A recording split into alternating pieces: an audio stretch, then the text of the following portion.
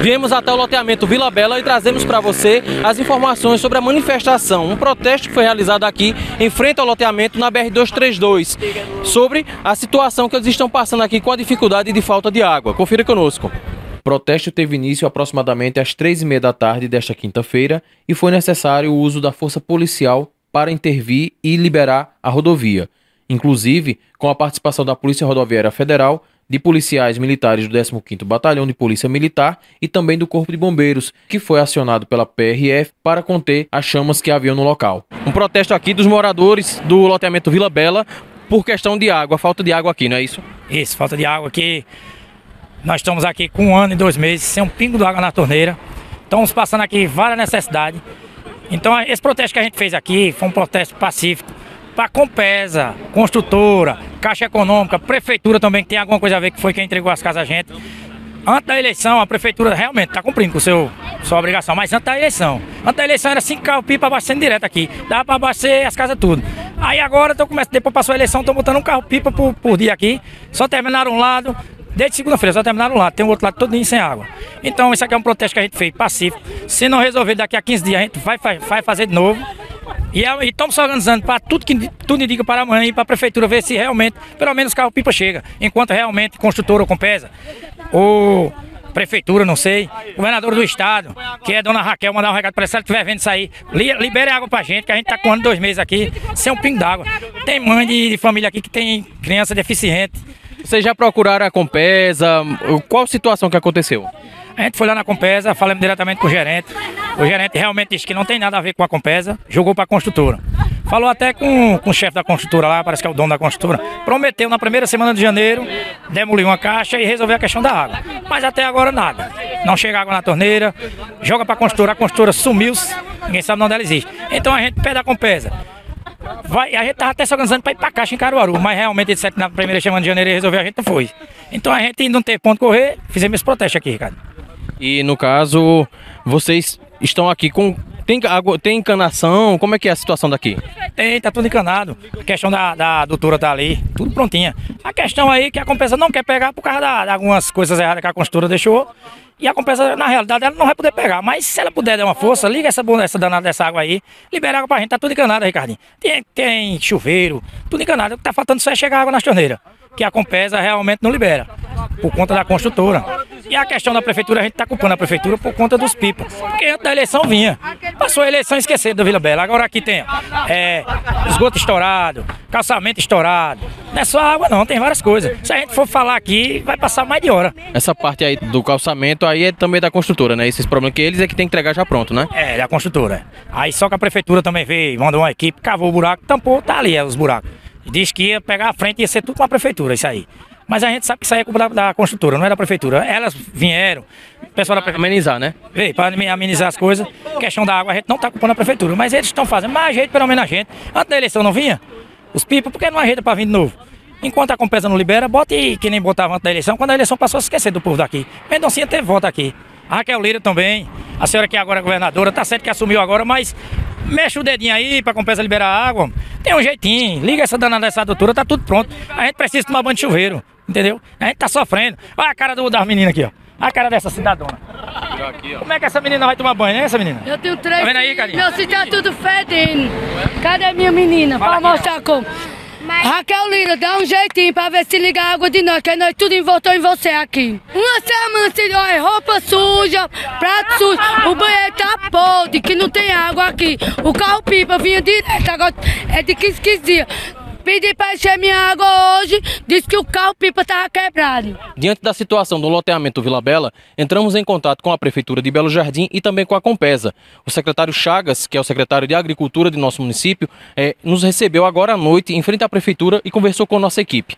Também é, procuramos a Compesa a qual marcaram conosco aqui de 8 horas da noite. São aproximadamente 9 e meia da noite. Estamos aqui em frente ao escritório e não fomos recebidos por ninguém da equipe da Compesa. É um desrespeito com a população de Belo Jardim e também com a imprensa de nossa cidade. Confira agora a entrevista do secretário Francisco da Chagas. Secretário Chagas, muito obrigado desde já por ter aceitado nosso convite para vir aqui até a Prefeitura, agora à noite mesmo, e prestar um esclarecimentos por parte da Prefeitura também é, sobre essa situação do Vila Bela.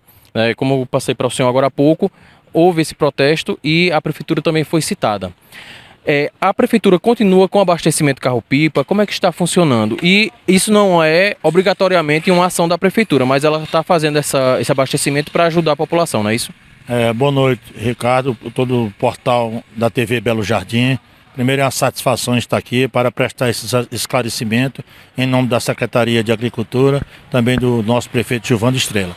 É verdade, veja bem, quando nós assumimos início do governo de Gilvando Estrela, tinha apenas um carro-pipa na secretaria. Nós chegamos aí a seis carro-pipa, né, abastecendo normalmente a zona rural. É bom esclarecer que a Secretaria de Agricultura total responsabilidade na zona rural. O prefeito foi é, questionado pelo, pela população lá do Vila Bela, vamos dizer, por alguma negligência, vamos falar assim, da Compesa ou de alguns órgãos, né? Não vamos culpar só a Compesa também não. E o prefeito assumiu esse compromisso, é, conversou comigo e a gente vem, desde o início, quando a população foi habitada lá, dando total apoio à população, em vários carro-pipa. É claro, Ricardo, só para vocês entenderem, a, a, a, agricultura ela não só é responsável pelo Vila Bela. Recentemente, o prefeito foi questionado sobre a, Vila Planalto. Hoje mesmo nós estávamos, dividimos os carros, carro na Vila Planalto, o pessoal da Vila Planalto pode ser testemunha disso, como toda a população. Inclusive hoje também recebi a ligação de um vereador da oposição, não queria citar o nome dele aqui por uma questão ética profissional, mas ele é testemunho que Passei até as fotos para ele, como a gente estava abastecendo também lá. Então não é fácil não. A, é, a demanda são muito grande. Até sacrifiquei um pouco a zona rural para prestigiar o pessoal lá do Vila Bela. E a gente vem é, a todo vapor fazendo esse trabalho lá. É claro que as coisas começaram a apertar mais. Há dois meses atrás, quando o pessoal fala em política, é bom ver que a gente tinha muitas águas na, água na zona rural. E a gente sacrificava um pouco, nem tanto, para dando total apoio, Vila Bela colocando mais carro. Isso é a pura verdade. Mas há momento também que a zona rural também sofre demais. Nós temos a zona rural aí toda grande, todo mundo, essa imensidão muito grande, que é total responsabilidade da prefeitura, principalmente da Secretaria de Agricultura. E também, para você ter uma ideia, Ricardo e todos que estão nos, nos assistindo nesse momento, é, lá de Nicolas, de vez em quando pede água, algum setor da educação, abatedouro, quer dizer, não é fácil não. É uma secretaria que vem com toda a responsabilidade. Estou à frente da pasta novamente. Todo mundo sabe da minha seriedade. Eu tenho um, um nome a zelar, graças a Deus, pela minha conduta. Todo mundo sabe o trabalho também que fiz no IF. Não está sendo diferente aqui na Secretaria de Agricultura. Então, nós estamos aqui preste a, a, atender melhor ainda. Agora, é, o pessoal tem que entender que as demandas são muito grandes. Não é fácil, não. Nós, nós para você ter uma ideia, é 20, 28 caminhões d'água no período, Ricardo, não é fácil não, para uma prefeitura com uma demanda tão grande dessa. E é, também há essa situação do abastecimento, né? Que aumentou agora os dias sem água da população e, e dificultou para todo mundo, né?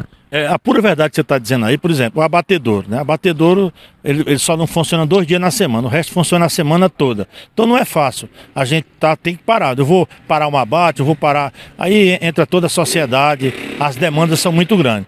Então eu acredito que houve um pouco de precipitação do pessoal do Vila Bela, me perdoe, mas a gente, com toda a responsabilidade, o prefeito Giovanni Estrela nunca, sempre ele vem falando com a gente sobre isso, e agora mesmo apareceu essa demanda do Planalto, que não tinha.